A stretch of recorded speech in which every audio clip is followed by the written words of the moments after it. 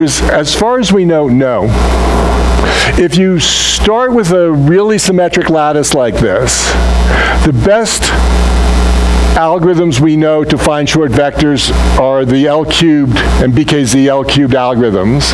And you feed this lattice in, and remember what L cubed is doing. It's swapping things and change, okay?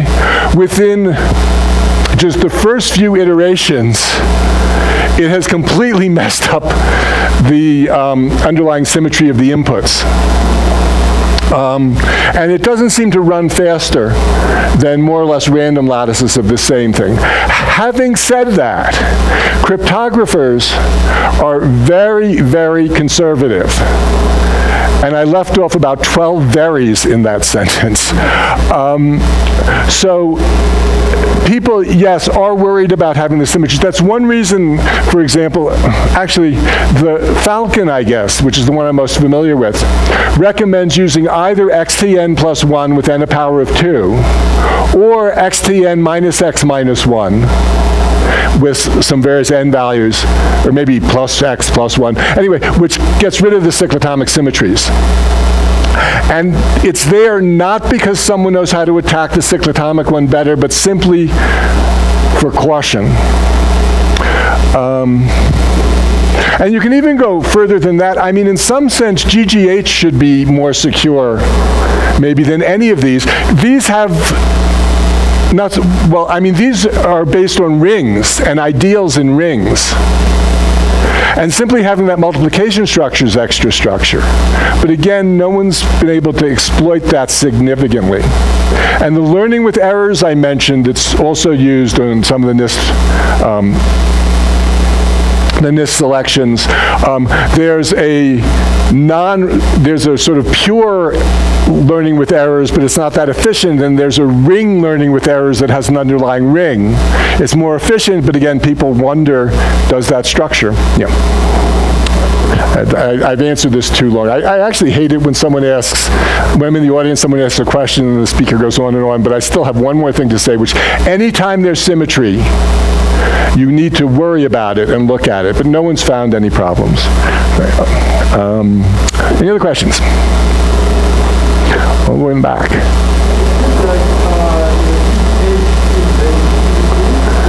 I, I cannot hear. Bjorn's going to come back with a microphone.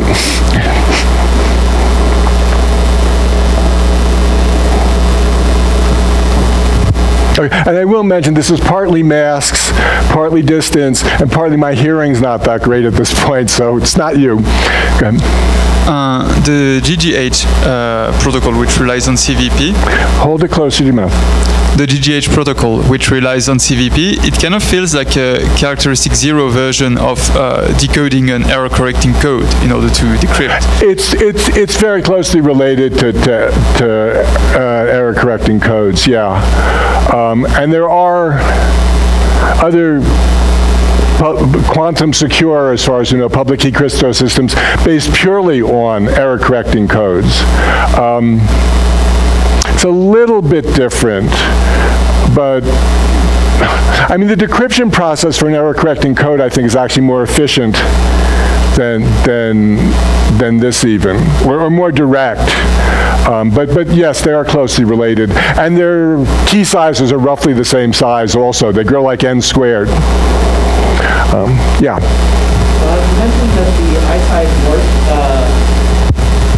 Uh, you mentioned that the Ajtai-Dwork uh, crypto system had average case, worst case equivalents. Uh, could is is there anything similar that could be said about GGH or NTRU? Um, again, not my area of expertise really, but my understanding is that I don't think there are average case, worst case reductions for NTRU um, or for GGH as, as it's, it's formulated.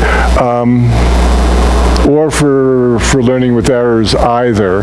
There are various there are various sorts of reduction things. So, for, for example, I'm pretty sure, like for, like for NTRU, you can prove that someone who can yeah, maybe you can prove that, that someone who can decrypt messages actually can recover the, uh, a usable private key and use it to encrypt also. Th- you know, there are reductions like that. Um, I'm more familiar with those for the signature schemes.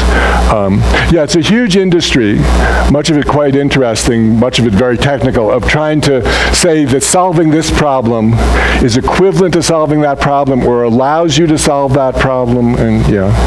And all sorts of techniques have been used for that. For example, uh, um, a lot of graph theory and expander graphs and stuff sometimes you can use to analyze the difficulty of one thing in terms of another. Yeah. Sure. Other questions? Over here.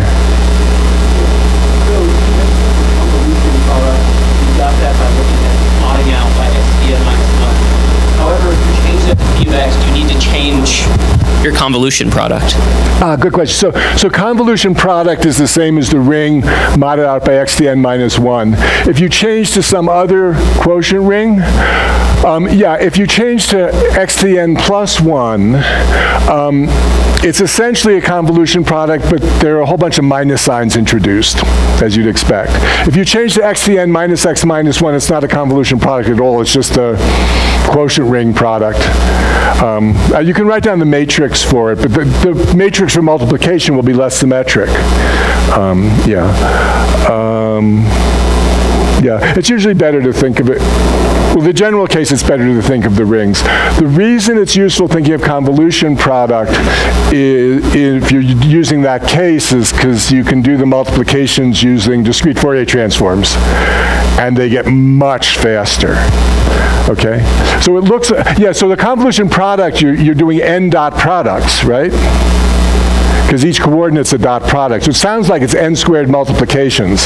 It's not. It's n log n multiplications because you can use discrete Fourier transforms or what's called Karatsuba multiplication to, okay? Yeah. Was there, yeah.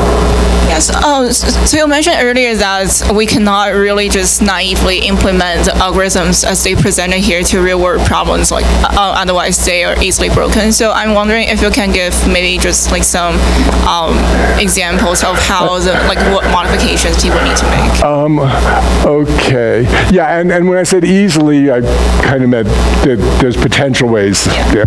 Um, yeah, I, I guess the most natural example um,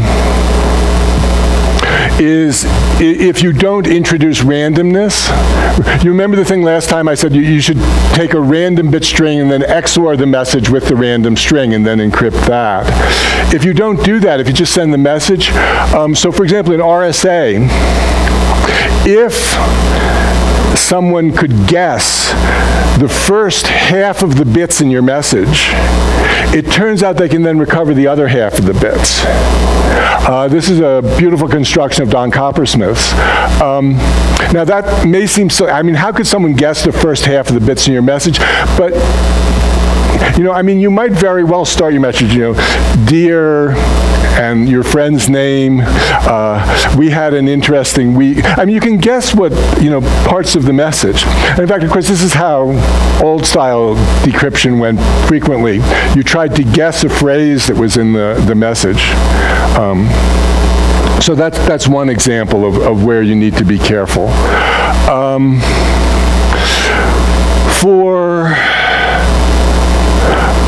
yeah, for, for El Gamal, it depends on the discrete log, right? So you're working in Z mod P, the multiplicative group of Z mod P, right?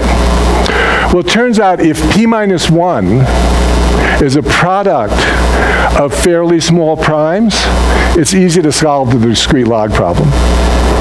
Who knew?